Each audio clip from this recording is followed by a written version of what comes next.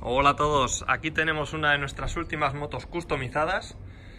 Quizás no suene a primera vista ni a segunda, ya que es un modelo bastante especial de la marca Yamaha. No hemos modificado ni el tren delantero, ni el basculante, ni el amortiguador, ni por supuesto el chasis. Lo que sí hemos hecho ha sido retocar el colín, un carenado y todas las luces, también el escape, intermitencia y demás. Pues bien, se trata de una Yamaha SZR 660, es un modelo que se produjo en Italia y bueno, pese a tener su aspecto R, no es una moto de cuatro cilindros, sino que es bicilíndrica. Aquí tenéis los dos colectores asomando, asomando, marca Yamaha. Y bueno, ¿qué decir acerca de esta moto? Componentes brutales, pero motor flojito, es decir, es una moto muy divertida de conducir, pero no es una moto de circuito propiamente dicho. Sí podría conducirse sin problema en un circuito tipo kart, en las que no se coge velocidad punta, sino que es principalmente aceleración y curvas, que es en lo que destaca esta moto. Os enseño también el cuadro. El velocímetro muy optimista en 220, más bien se quedaría en torno a 150, sube a 10.000 vueltas, aunque aconsejable no pasar de las 7.000 ya que eso se convierte en zona roja. Y bueno, aquí está el carenado que hemos utilizado. Este es un carenado que hemos comprado en Fiberbike, un proveedor español, y lo hemos adaptado. Si os fijáis, le hemos colocado un faro de 6,5 pulgadas, todo recambio homologado, y los luces de intermitente aquí instalados. Esto ha sido idea nuestra, el recambio homologado también, ya veis, del tamaño de un pulgar, si me acerco igual veis alguna contraseña de homologación, ahí la tenéis.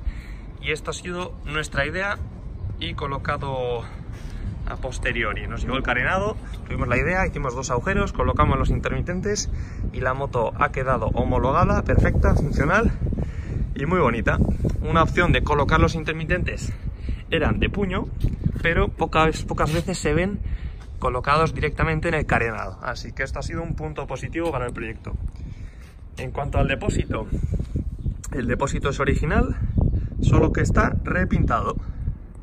Tiene un color muy muy bonito, ya veis que el acabado del depósito es perfecto, ni una sola mota de polvo, logo Yamaha, que se reconozca el modelo, aunque como veis también se veía la otra parte del motor.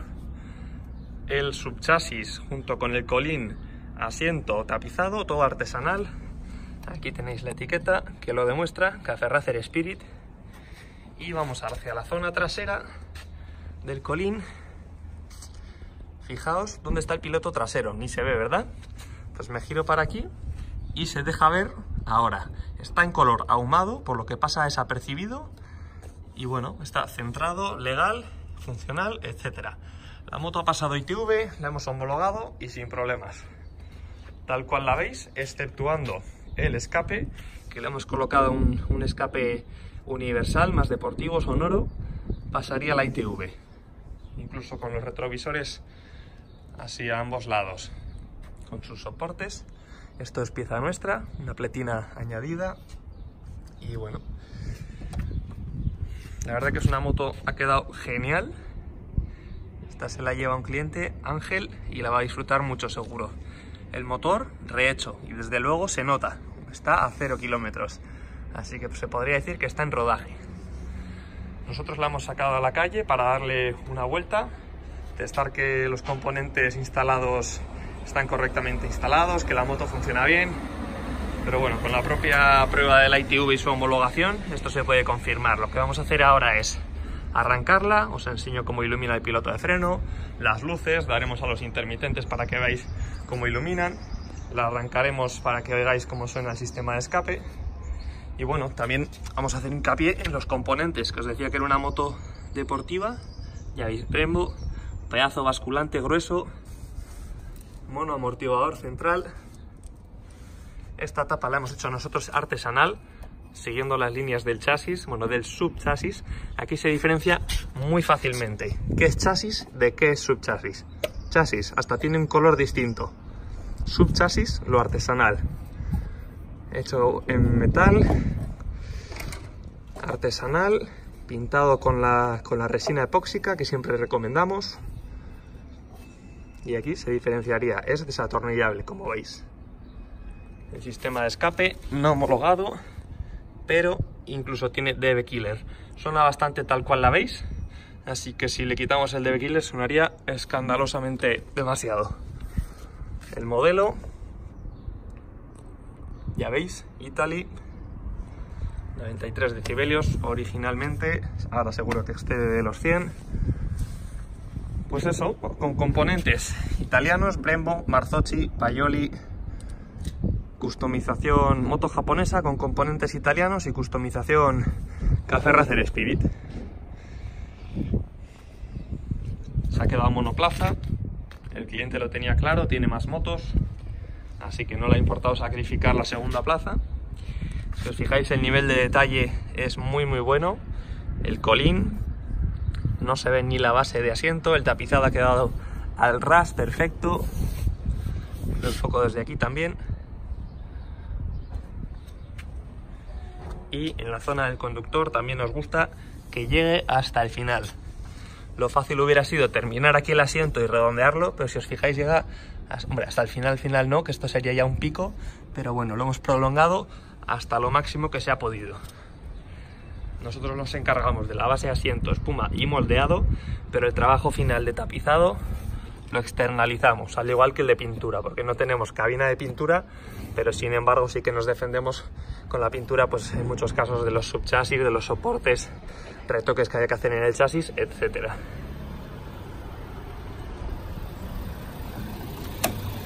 Pues nada, la llave la tengo aquí en este bolsillo. Yamaha SZR 660 he venido en marcha hace un momento, así que ni voy a tirar del aire y le damos al arranque.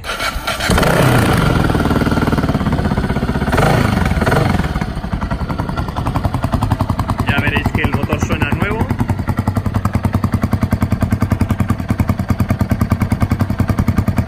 Mantiene el ralentí perfecto, constante, estable. Vamos a escucharla por aquí detrás.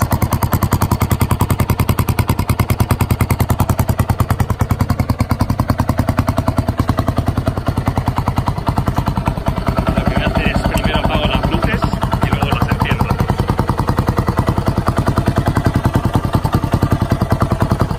Por cierto, esto es el propio Polígono 27 donde estamos nosotros. He subido a un edificio así bastante moderno, que es donde suelo, por cierto, bastante alto, donde suelo venir a hacer fotos. Que ya veis que vaya día salido, despejado. Han quedado unas fotos perfectas para la página web y para nuestras redes sociales.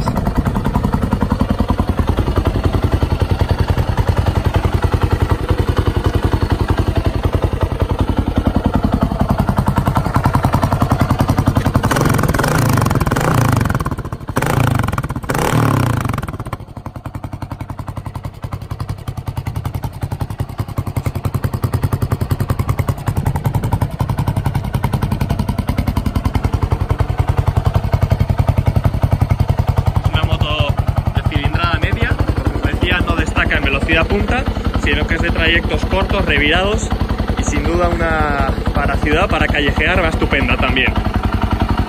La subimos un poquito de vueltas y le damos a las luces.